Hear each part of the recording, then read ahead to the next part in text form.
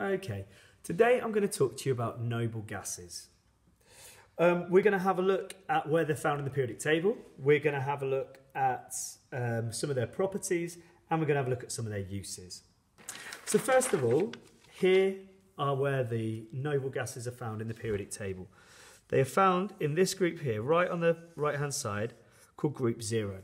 Now the reason why it's not called group 8 is that group 8 would imply that they all had 8 electrons in the outer shell. Whereas helium, because it only has 2 electrons, it has a full outer shell. So all it's saying is all of these have a full outer shell. Now, all of these uh, noble gases having a full outer shell gives them certain properties that we're going to have a look at in a second. So, we're just going to have a look at neon as an example. So here is neon. As you can see, when I finish drawing it, neon has a full outer shell. This makes it extremely unreactive. Now, the scientific term for unreactive is inert. So it really doesn't undergo many reactions at all. All noble gases are mono, uh, monoatomic. Now, this means they just go round as one atom all by itself. They are all gases and um, they all go round as single atoms because the fact they have full outer shells, they're extremely unreactive. Obviously, as a result of being so unreactive, they're really non-flammable. They're extremely unreactive. Um, due to the fact that they are so inert, so unreactive, they've actually got some good uses. So number one is in filament lamps. So what we actually have in a filament lamp is a particular filament and it gets so hot, it gets so hot that it emits light. Now, in order to stop this really, really hot filament right here, this really, really hot filament from reacting with the oxygen, we've actually got argon within these filament lamps because it's unreactive to stop the hot filament from reacting with the oxygen in the air. In a very, very similar way, it works in flash photography. In flash photography, when you've got um, when you've got something which suddenly has a, a big flash, again, you want something really, really inert in order to stop it from reacting with the oxygen in the air. So also, in flash photography, you could have, um, you can actually have argon uh, krypton or xenon in order to stop these reactions from happening.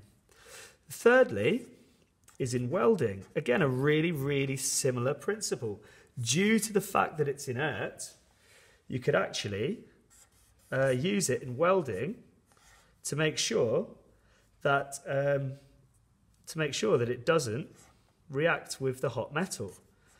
So this person here is welding. So we can make sure that that we, if we have um, a noble gas in the environment here, it makes sure that the, uh, the heat from the hot metal does not react with the oxygen in the air. Now the final one, it could be used for um, airships and party balloons. Now the reason why that is, is because they have a lower density than air.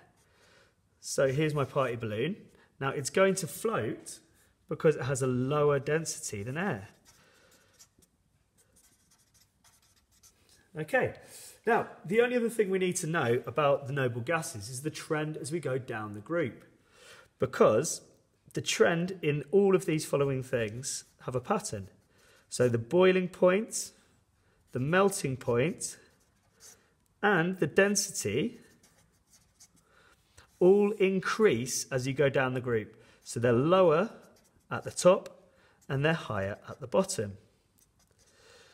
Now the type of question that you might be asked about this is let's say we got given the density of helium as being 0.2 kilograms per meter squared and argon as 1.8 kilograms per meter oh, sorry per meter cubed sorry my mistake volume so a question might be given that this is the density for helium, and this is the density for argon. Can you predict what the density for neon could be? So all you'd need to do is find the average of those two to find halfway in between them. And that would give you 1.0 kilograms per meter cubed. So it's essentially just following the pattern to, um, to find the missing density. So to summarise, noble gases, they are all found in group zero of the periodic table. They all have a full outer shell. Because of their full outer shell, it means that they're extremely unreactive. They, as a result, they go round by themselves. Due to them being inert, they could be used for filament lamps, flash photography, and welding to stop reactions happening with oxygen in the air.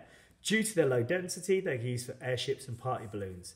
As you go down group zero, the boiling point, the melting point, and the density all increase from top to bottom. And that's basically noble gases. Thank you.